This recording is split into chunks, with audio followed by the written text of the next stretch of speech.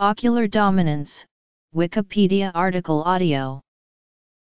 Ocular dominance, sometimes called eye preference or eyedness, is the tendency to prefer visual input from one eye to the other. It is somewhat analogous to the laterality of right or left-handedness, however, the side of the dominant eye and the dominant hand do not always match. This is because both hemispheres control both eyes, but each one takes charge of a different half of the field of vision, and therefore a different half of both retinas. There is thus no direct analogy between handedness and eyedness as lateral phenomena. Effects Determination Approximately two-thirds of the population is right eye dominant and one-third left eye dominant. However in a small portion of the population neither eye is dominant.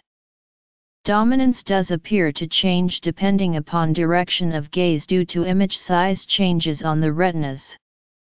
There also appears to be a higher prevalence of left eye dominance in those with Williams-Beuren syndrome, and possibly in migraine sufferers as well. Eye dominance has been categorized as weak or strong, Highly profound cases are sometimes caused by amblyopia or strabismus.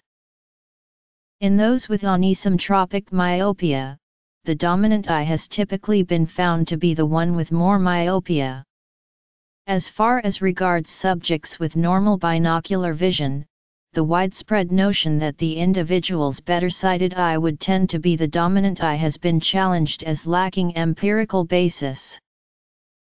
In normal binocular vision there is an effect of parallax, and therefore the dominant eye is the one that is primarily relied on for precise positional information.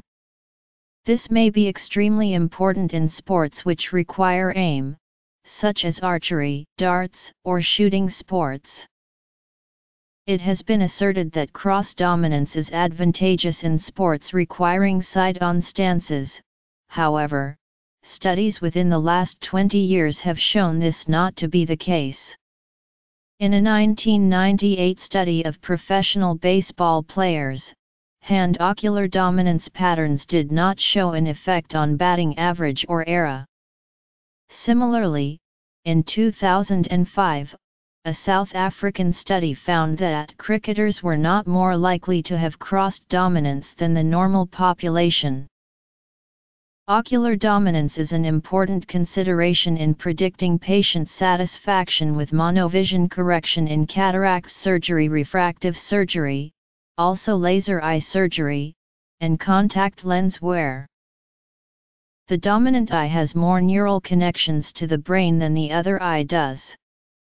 According to a 60-person study in the Proceedings of the Royal Society B, in non-dyslexic people, the blue cone-free spot in the dominant eye tends to be round and the same spot in the non-dominant eye tends to be unevenly shaped.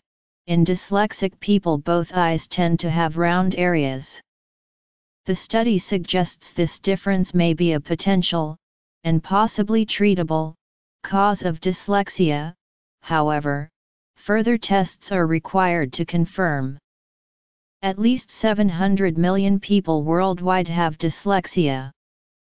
In response to the study, John Stein of the University of Oxford cautions that while the study is really interesting, there is no one single cause of dyslexia.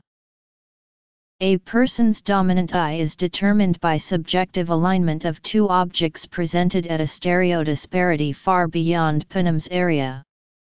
There are a number of ways to do this. Forced choice tests of dominance, such as the Dolman method, allow only a right or left eye result.